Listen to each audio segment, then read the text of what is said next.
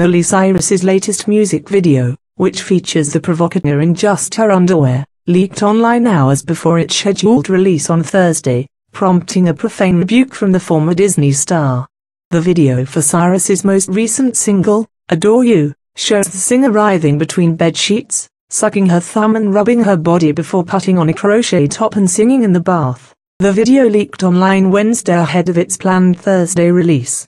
The leaked version has since been taken down. We all know Smilers would break another record if it wasn't for the expletive face who leaked my video. All good. Keep smiling, Cyrus posted on Twitter, referring to her fans who are known as Smilers. The Adore You video mirrors Cyrus's prior clothes-shedding and headline-grabbing performances this year as a 21-year-old leaves behind her squeaky clean Disney image to become the sexually provocative, marijuana-smoking bad girl of pop music.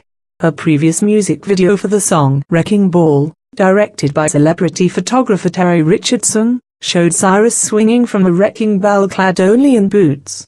Wrecking Ball was the quickest video to hit 100 million views on the online music video syndicating service Vevo, a record that Cyrus said she wanted to break.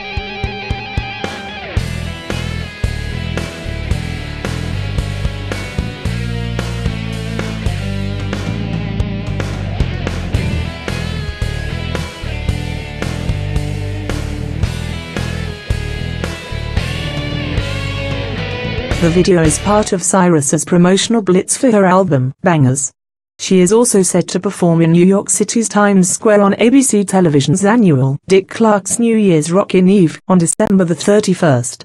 Cyrus and her persona have been a constant in tabloid headlines and television chatter since her scrutinized performance at the MTV Video Music Awards in September when she twerked, a sexually suggestive dance, during a performance of Robin Thicke's song Blurred Lines.